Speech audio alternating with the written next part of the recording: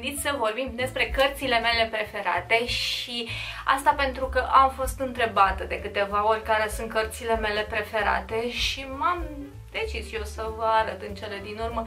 care sunt o parte din cărțile mele preferate, poate top 10 cărți preferate pe care le am eu, pe care le-am citit până acum și pe care le-am iubit și pe care măcar o dată în viața asta aș vrea să le mai citesc. Adică există chiar potențialul de le citi măcar și de mai multe ori, nu numai o dată, dar măcar o dată în viața asta îmi doresc să le mai citesc. Uh, pentru că mi-au plăcut atât de mult și au rămas în mintea mea ca fiind nu știu, speciale, să spun așa, și uh, m-au marcat într-un oarecare fel. Și am atât cărți de, din copilărie, de când eram mică, o să vedeți, cât și cărți mai recente, pe care le-am citit ceva mai recent. Um, astăzi voi vorbi strict despre beletristică, da, n-am să includ în categoria asta și cărțile de self-help. Uh, dacă vreți să vedeți uh, un astfel de clip, am deja cu 5 recomandări de cărți de self-help pe care eu le consider bune și e bine să vă, vă uitați la clipul ăla dacă vreți recomandări de cărți de self-help pentru că alea sunt cumva preferatele mele. Înainte de a începe efectiv cu aceste cărți, am multe cărți, am mai mult de 10 cărți aici și o să înțelegeți imediat de ce am mai mult de 10 cărți. Înainte de a începe, aș vrea să vă rog să vă abonați dacă nu ați făcut-o încă și dacă sunteți noi pe canalul meu, să intrați în familia noastră, să dați un like și un share la clipul ăsta dacă vă place acest uh, gen de uh, clipuri și dacă vreți să mai facem astfel de clipuri. Desigur, să-mi spuneți și voi în comentarii care sunt cărțile voastre, cartea sau cărțile voastre preferate all time. Hai să începem cu o carte, probabil cea mai abuzată carte pe care o am eu și cea mai citită. Cred că dintre toate cărțile pe care am să vi le arăt astăzi, uh, sunt câteva cărți pe care le-am citit o singură dată, sunt câteva cărți pe care le-am citit de mai multe ori, dar cu siguranță asta este cartea cea mai citită de cele mai multe ori. Are cel puțin... Uh, 6 sau 7 citiri cartea asta pentru că ajunsesem în punctul în care o citeam de două ori pe vară. Era cartea pe care o citeam eu în vacanțele mele de vară, când eram la școală și era cartea cu care mă identificam foarte mult pentru că era practic cartea care mă făcea cumva să scap din copilăria mea. Era o formă de evadare pentru mine cartea asta. Uh, vă avertizez că arată într-un mare fel cartea asta. Dacă ar vedea o mamă acum, mi-ar băga-o pe gât, efectiv, pentru că ea nu suportă să, să terorizez cărțile, dar eu am a ajuns cartea asta atât de maltratată și halul în care este pentru că făcea naveta cu mine, adică era lege, din, cred că din clasa a patra până când am terminat liceul, deși nu am mai mers după aia când, când eram la liceu, nu am mai mers la bunica mea în vacanțe, dar oricum, până, a făcut foarte mult timp naveta cu mine cartea asta, nu știu, din clasa 3 până, da, cam așa, cam prin clasa 3 am dat de ea și până când n-am mai mers la bunica mea, în fiecare vară și în fiecare an ea făcea naveta cu mine, dus întors cartea asta și de aia a ajuns așa, mai degrabă și din cauza navetei, nu numai pentru că de foarte multe ori se întâmpla să uit, ah, cartea, cartea, cartea și o băgam și o vâram în bagaj pe acolo pe unde apucam. Și este vorba despre Huckleberry Film. Fin, nu film. Huckleberry Finn de Mark Twain. Uh, este o carte pe care eu am adorat-o copil fiind și este cartea la care mă gândesc cu cel mai mare drag în momentul în care vine vorba de cărți din copilărie. Este cartea pe care o iubesc atât de mult, dar atât de mult. N-am mai citit-o de mulți ani, tocmai pentru că ajunsesem în punctul în care aproape că o știam pe din afară, aproape că știam ce urmează și ce vă ziceam de starea ei, uitați cum arată săraca în ce hal a ajuns, deci au zburat foile din ea. Asta este o versiune din aia, o ediție pentru copii pe care mi-a cumpărat-o mama când eram încă în școala primară. Uh, și da, eu, vedeți, are o ediție, e o ediție așa mai cu uh, copeți de copii, pentru copii, așa erau, nici nu știu ce editură scotea pe vremea aia cărțile astea, dar era da, era foarte interesant. Am citit cartea asta, doamne, uitați-l pe hack aici, cum arată. Am citit cartea asta de multe ori, v-am zis, și îmi plăcea atât de mult povestea și uh, simțeam că evadam odată cu povestea asta pentru că și acum, uitându-mă prin uh, imaginile astea, că sunt, e plină de ilustrații cartea asta, parcă îmi trezește așa niște emoții, uh, pentru că eu eram genul ăla de copil care era ținut în casă, n-avea voie să se joace cu nimeni, n-avea voie să iasă, n-avea voie să facă nimic, eu trebuia să stau drept, să stau în poziție de drept tot timpul și uh, cartea asta era o evadare pentru mine și uh, îmi plăcea atât de mult să, să o citesc și uh, ilustrațiile astea mi se păreau fabuloase, chiar dacă sunt făcute numai în creion, ele la origine sunt făcute numai în creion, să văd, în, în, acum sunt tuși, bineînțeles, pe în, pagina cărții, dar uh, îmi plăceau atât de mult, cred că, cred că cumva, subliminal, uh, desenele astea sau ilustrațiile astea uh, m-au făcut să-mi placă mie desenul în creion atât de mult. Cumva, cumva de-aia îmi place mie desenul în creion din datorită acestor uh, uh, ilustrații. Uh, și uh, da, este o poveste foarte frumoasă, asta este o poveste pe care cred că toată lumea ar trebui să o citească într-un fel sau altul, adică fie că sunteți copii mai mici sau mai mari, ar trebui să o citiți și um,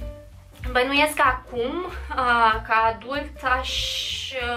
vedea altfel povestea asta, dar cu siguranță sentimentul ăla special rămâne și asta, dacă ar fi să fac un top neapărat, v-am zis, celelalte cărți nu sunt cartea numărul 1, cartea numărul 2, cartea numărul 3 și așa mai departe în favoritele mele, astea sunt top 10, dar n-aș putea să le să fac un clasament între ele, dar asta cred că ar fi pe, pe primul loc pentru că este și cea mai citită și pentru că este și cartea care mi-a stârnit atât de multe emoții, de care sunt atât de legată și care, nu știu, uh, m-a impresionat foarte tare. Nu știu, mie mi-a plăcut foarte tare povestea aia. Apoi, avem, uh, tot în perioada aia,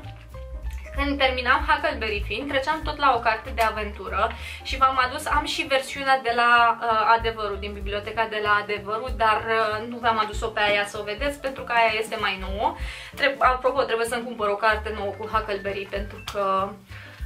aia este un obiect de colecție, doar muzeu, așa, pentru mine. Uh, o a doua carte pe care o citeam când uh, terminam Huckleberry și care era cumva un substitut așa pentru mine de aventură și de escapadă. Și o să vedeți că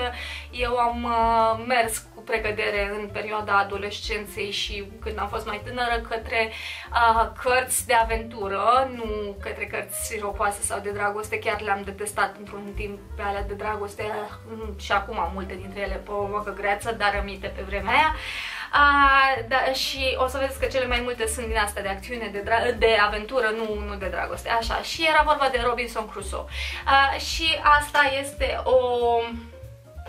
carte care la fel uh, arată cam în același stadiu, e cam în același stadiu și arată cam la fel ca cealaltă, ca Huckleberry. Sunt uh, cumva de la aceeași editură, again, nu știu care e editura, mâncava și sufletul, uh, ci că Regis. Asta o fi mama, nu știu ce să zic. Nu știu dacă sigur asta e... Nu, Regis este ceva legat de... Mă rog. Uh,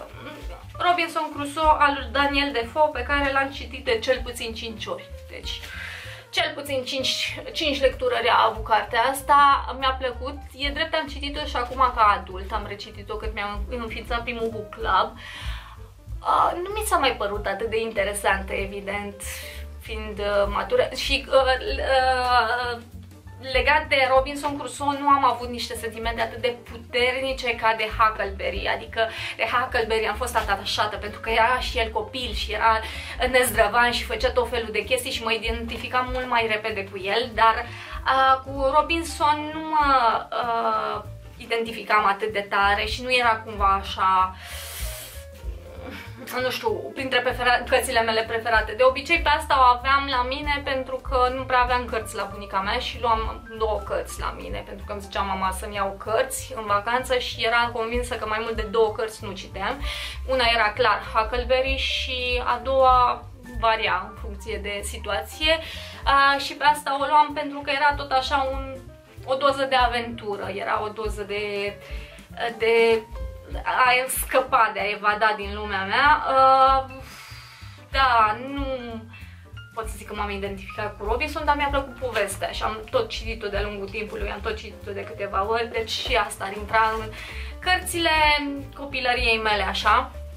Vedeți că avem mai multe. Apoi, a, a treia carte, de fapt la, la numărul 3 am pus un autor, n-am pus neapărat o carte, pentru că n-am putut să pun o carte.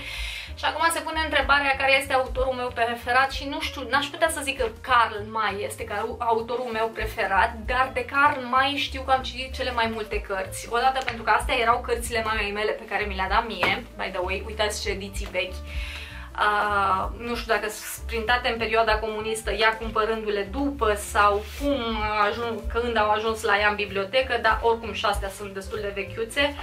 Uh, anyway, uh, deci după ce am avansat de la cărțile astea care erau mai de copii, așa, o să vedeți voi că aveam mai multe din astea de copii, am uh, trecut la astea de oameni mari, cum le zicea mama, și mi le-a dat pe astea de Karl May, prima și prima, țin minte seara când mi-a dat-o, când mi-am zis că nu mai am ce să citesc și mi-a dat-o pe asta, Karl May, Vulturii deșertului, uh,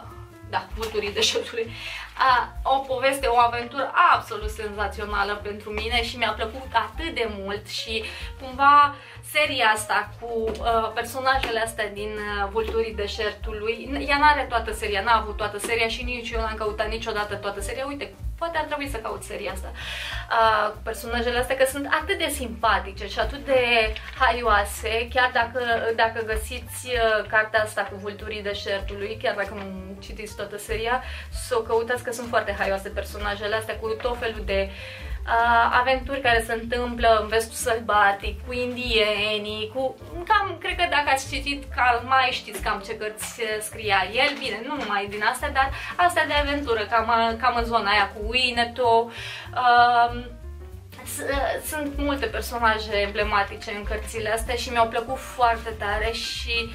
nu știu dacă el este autorul meu preferat, pentru că la momentul actual nu pot să zic că mă mai identific cu stilul lui de scriere, bar chiar cred că descrierile lui m-ar plictisi, dar cu siguranță este cel mai citit autor de mine și cu cele mai multe cărți pe care le-am citit și uh, mi-au plăcut foarte, foarte tare cărțile astea, astea intrând la un singur număr, la o singură categorie, cărțile astea de aventură ale lui Karl May. Și am luat în principal trei aici, acum am zis prima, Vulturii Deșertului, care îmi plăcea foarte tare, asta era volumul 32 din colecția lui.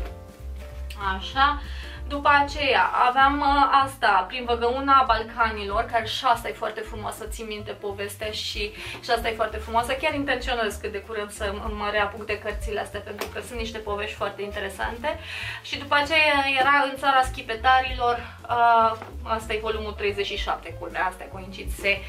Uh, se, uh, cu, practic continuă povestea în ele. Bun, apoi, am uh, iarăși o carte care vine în trei volume, care mi-a plăcut atât de mult. Știu că am citit-o în perioada facultății și am făcut pauze și nu știu ce, dar totuși mi-a plăcut atât de mult cartea asta și cu siguranță vreau să o, să o recitesc, chiar era să mă apuc de ea, dar uh, na, știți că v-am zis că luna asta sunt cu maratonul ăla de lectură și nu m-am apucat. Este o carte în trei volume, da? În, uh, și anume Shogun. Eu l-am în varianta asta de la Adevărul, uh, am văzut și versiuni în care există două volume, am văzut și versiuni în care există un singur volum, mai mare, uh, da, nu știu, fiecare cum vrea, mă bănuiesc că este mai practic fiind o carte foarte groasă, dacă e să o faci o singură carte, ar fi foarte groasă, e mai practic să vină în trei volume. Este o poveste atât de complexă și atât de frumoasă și o poveste care cumva pentru prima dată m-a făcut pe mine să conștientizez natura umană. Deci chiar dacă eram în facultate când am citit uh, carte, uh, cărțile astea, uh, până atunci n-am stat să mă gândesc atât de mult la natura umană, la felul în care se comportă oamenii, la uh, lucrurile pe care le fac, uh, la interese, la felul în care gândesc. Mi-a rămas în minte o imagine foarte, foarte, foarte um, vie a șefului armatei, parcă era uh, japoneze care uh, seara când se retrăgea și se gândea la toate lucrurile pe care le avea el în minte, se gândea ca la un dulăpior, știți, dulăpioarele acelea tradiționale japoneze sau chinezești, cu foarte multe sertărașe și fiecare gând era pus într-un sertăraș din ăla, vizualiza chestia asta și pentru mine imaginea aia a fost atât de puternică când am citit-o încât mi-am însușit-o și acum când mă gândesc și încerc să împătolesc anxietatea, mă folosesc de imaginea aia și fiecare gând pe care l-am, care îmi trece prin cap și fiecare gâre, uh, chestie care îmi provoacă anxietate, uh, o pun într-un sertăraș din ăla și mă întorc la sertărașul ăla când este momentul și când simt că pot să mă ocup de gândul ăla și uh, v-am zis, imaginea din carte, descrierea din carte și imaginea a fost atât de puternică pentru mine încât mi-am asociat-o și o folosesc și chiar mă ajută, adică este un fel de exercițiu de calmare a anxietății care funcționează foarte bine pentru mine. Uh, da, este o poveste splendidă, o poveste care are atât elemente uh, romantice cât și uh, elemente de aventură, cât și este un echilibru foarte frumos în uh, cartea asta și vă recomand. Dacă n-ați citit Shogun, citiți-o și după aceea gândiți-vă puțin și la perspectiva filozofică pe care o are cartea asta. Este foarte interesantă din punctul meu de vedere și merită citită pentru că e, este frumoasă. A, o altă carte care vine în două volume este Papillon de Henri Carrier. A, vine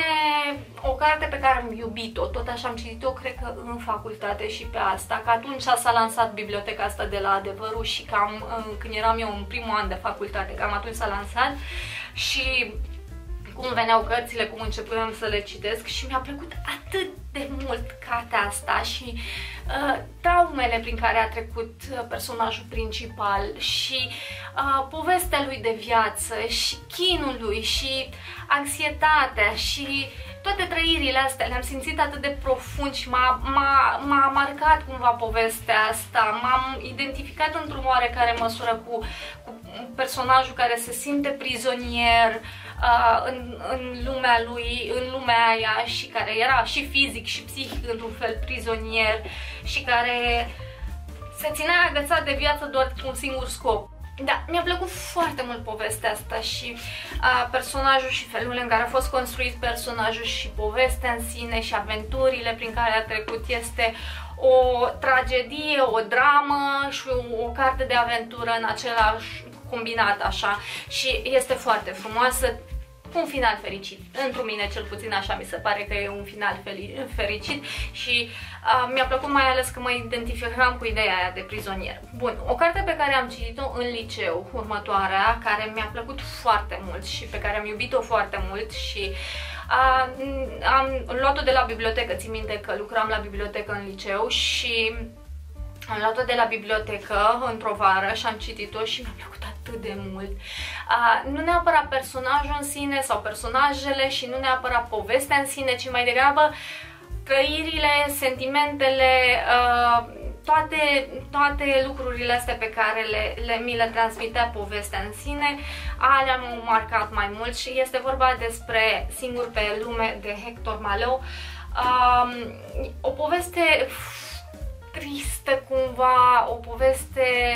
care te înduioșează, o poveste care, nu știu, cel puțin cu mine la vremea aia a făcut așa în toate felurile și m-am identificat cu uh, ideea aia de a fi singur și de a fi neînțeles pe lume și cumva de a te simți în plus în toate contextele, cumva îți transmitea chestia asta, pentru că la un moment dat personajul trece prin niște întâmplări în care parcă oriunde s-ar duce, în orice parte a, a lumii ar lua-o, în orice direcție ar lua-o, este singur și este în plus pentru toată lumea, pare să fie în plus și pare să fie ceva uh, incomod și cumva m-am identificat cu treaba asta și îmi plăcea foarte mult apropo de ideea de outsider uh, și mi-a plăcut foarte, foarte mult povestea asta și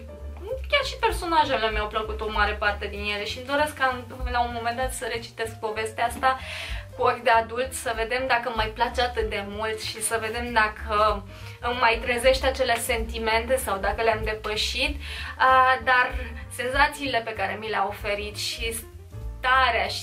și uh, personajele în sine, cum am, cum, am, cum am văzut eu personajele, mi-au plăcut foarte tare și de aia asta m-a făcut să o pun în topul ăsta. O carte pe care am citit-o în liceu, pentru că a fost lectură obligatorie de liceu și în mod surprinzător mie mi-a plăcut, deși multora nu le-a plăcut, Uh, și cumva cartea asta m-a făcut să fac clipul ăsta după ce m-ați întrebat voi, pentru că m-am gândit că este o carte pe care în ziua de astăzi multă lume nu o citește și este o carte care mie personal mi se pare extrem de actuală, extrem de actuală. Așa cum spunem de piesele de teatru ale lui Caragiale că sunt foarte actuale și că sunt foarte contemporane, că a scris foarte în contemporan Caragiale, uh, așa este și cartea asta, cu toate că este o carte foarte veche, de altfel este considerată ca fiind primul roman efectiv românesc. Așa este și cartea asta, este foarte contemporană și dacă o veți citi, veți înțelege de ce este contemporană, evident, făcând analogiile corespunzătoare zilelor noastre. Este vorba despre Ciocoii vechi și noi de Nicolae Filimon, este o carte care se pare că a costat cândva la viața ei 4 lei. Știu că pe asta mi-a găsit-o mama într-un anticariat, că era lectură de clasa 10 când am trecut în clasa 10 era lectură obligatorie și ne-a dat-o profesorul de română, lectură pentru vacanță. Uh, și s-a dus mama, s-a dus și a umblat și mi-a căutat toate cărțile și ce n-a găsit în librărie mi-a cumpărat uh, din anticariate și n-am o problemă cu cărțile din anticariate, by the way, că mi s-a pus și întrebarea asta, eu fiind aia cu second hand-urile, care câh second hand-urile, dacă am o problemă cu cărțile vechi, nu, din contră, îmi plac cărțile vechi, cu cât mai vechi, cu atât mai bine din punctul meu de vedere. Adică prefer cărțile vechi celor noi, dacă e să mă întrebați pe mine, sau edițiile vechi, sau cărțile care au mirosul ăla de praf, de lânce, de mucegai, de stat mult în bibliotecă. Știți mirosul ăla de bibliotecă veche? Ah, ador mirosul Este cel mai, unul dintre cele mai frumoase mirosuri de pe lumea asta, mirosul ăla de carte veche. Cum are și asta. Așa, uh, da, este o poveste, cum am spus, care mie, deși foarte veche, deși acțiunea se întâmplă pe vremea fanarioților, uh, mi se pare că este foarte contemporană, că este foarte actuală și dacă o veți citi, veți înțelege la ce mă refer. Uh, de asemenea, mi-a plăcut stilul lui Nicolae Filimon de a scrie. Mi-a plăcut felul în care a prezentat cele două, cum a făcut echilibru între cele, cum a făcut paralela, practic, nu echilibru, paralela între cei cele două lumi, între ciocoii vechi și ciocoii noi. Și mi-a plăcut cum a descris personajele, mi-a plăcut acțiunea, mi-a plăcut cum a povestit, nu mi s-a părut deloc plictisitoare, îmi pare rău pentru cei care consideră că este o carte plictisitoare. Da, nu este o carte de aventură, nu este o carte thriller, nu este o carte modernă, cu siguranță, nu este o carte modernă, dar cu toate astea nu mi se pare ca a, să fie o carte învechită. Deci nu mi se pare că este o carte care a fost, că nici nu mai țin minte, că știu că trebuia să învăț pentru ora de română când era scrisă, când a fost scrisă cartea asta, când a fost scrie pe undeva pe aici, dar e scrie atât de mică, nu sigur, nu, e imposibil să văd eu. Uh, da, deci nu mi se pare o carte așa de veche. Acțiunea din contră, v-am spus, mi se pare foarte actuală și foarte în contemporan și dacă o veți citi, poate îmi veți da dreptate. Chiar mi-ar plăcea foarte tare dacă aș citi cartea asta. Uh, să-mi spuneți dacă v-a plăcut și dacă sunteți de acord cu mine. O altă carte care mi-a plăcut foarte mult când eram tot așa uh, mică, cred că și pe asta am citit-o înainte de liceu. Uh, și da, știu, cărțile mele preferate, mare parte din ele sunt din perioada aia, dinainte de liceu. Uh, și este vorba despre Ocolul Pământului în 80 de zile de Jules Verne. Uh, în mod surprinzător mi-a plăcut mult cartea asta. Nu știu de ce să, nu știu, probabil tot pentru că are tenta aia de aventură și pentru că povestește foarte mult de ce se întâmplă și cumva toată aventura aia în jurul lumii și cumva îmi doream și eu o astfel de aventură, cum să mă duc în jurul lumii, să mă plimb cu balonul, să mă plimb cu o grămadă de lucruri, să mă plimb, să, uh, da, nu știu, mi-a plăcut foarte mult, la fel și cartea asta are niște ilustrații, stați că îmi date unele, doar că sunt mai închise și cartea este tot așa foarte veche, este tot din colecția aia ca Huckleberry și ca uh, Robinson și uh, sau uh, mi-aduc aminte că ele nu erau atât de întunecate, dar s-au întunecat cu timpul, s-au întunecat și mai mult cu toate că să știți că răsățile astea au fost ținute uh, la întuneric, în mod surprinzător, mă, mult timp cărțile astea au stat la întuneric, n-au stat la la lumină și cu toate astea tot s-au uh, mai degradat, s-au învechit, să vede că sunt vechi. Dar mi-a plăcut mult și cartea asta, tot așa din perspectiva aventurii și la fel îmi doresc să o citesc la un moment dat și să văd dacă o mai privesc cu aceeași um, cu aceiași ochi, uh, plus că pe mine mă bulversa foarte tare treaba aia cu dacă o iei într-o parte să faci ocolul pământului, uh, pierzi o zi și dacă o iei în partea cealaltă uh, câștigi o zi. Deci pe mine m-a dat peste cap, m-a bulversat extrem de tare chestia asta. Mai am două cărți care sunt ceva mai actuale și cumva mai contemporane. Una dintre ele este chiar contemporană, deci stați liniștiți că n-am nebunit de tot, nu vorbesc doar din copilărie.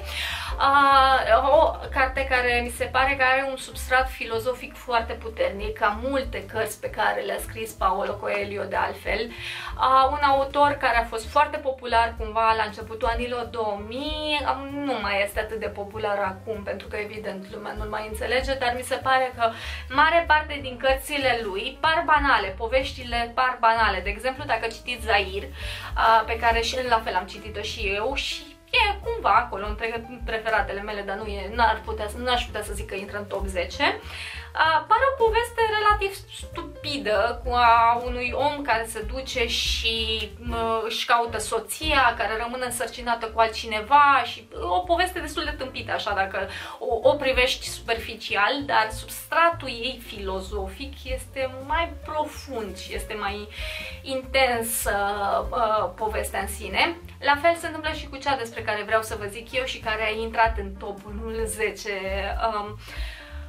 uh, cărți pe care le iubesc eu foarte mult și multă lume spune că le-a schimbat viața cartea asta. Încă nu am reușit să-mi dau seama. E, pentru mine cartea asta este un mister. Pot să spun și eu că într-adevăr mi-a deschis cumva ochii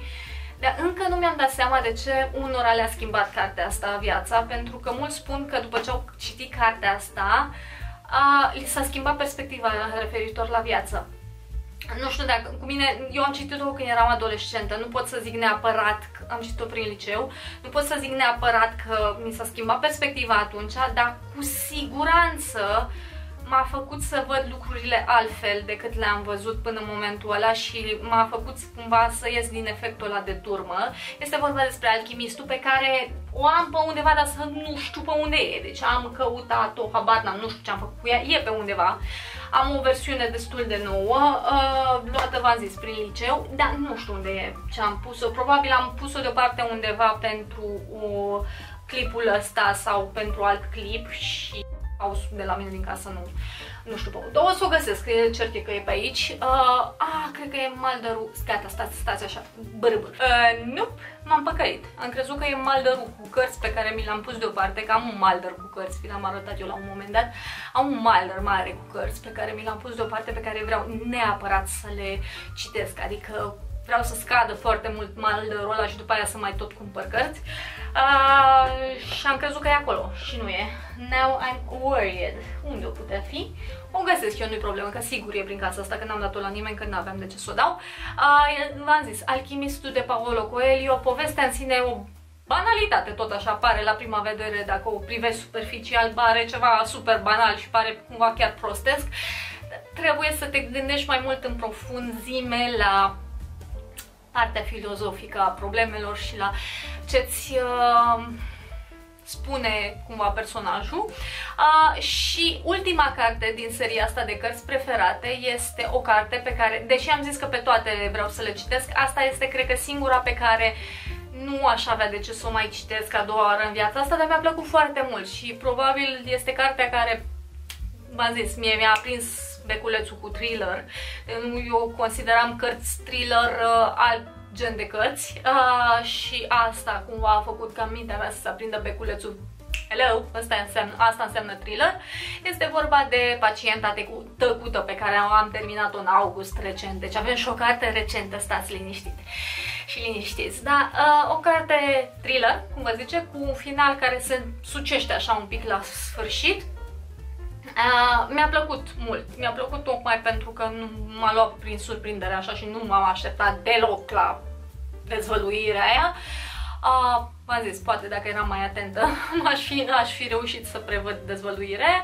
dar uh, da, o carte destul de simpatică, cu toate că este ușor de citit, adică nu e neapărat o carte emblematică cum este Shogun, da? Nu e o carte senzațională, nu e o carte grea să zicem, dar e o carte drăguță care mie mi s-a părut că merită, din punctul meu de vedere, să intre în top 10 cărți preferate. Probabil, pe măsură ce voi citi cărți în topul ăsta, Uh, se va schimba în timp și poate cândva voi reface clipul ăsta dacă veți vrea și voi. Acum mi-ar plăcea să-mi lăsați voi în comentarii care sunt cărțile, cartea sau cărțile voastre preferate all times, nu uh, neapărat ceva recent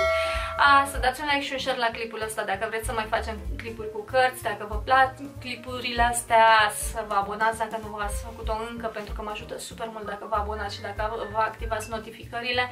Nu uitați să veniți și pe Instagram că vorbesc acolo în fiecare zi cu voi. Vă pup și ne vedem în următorul clip. Ciao!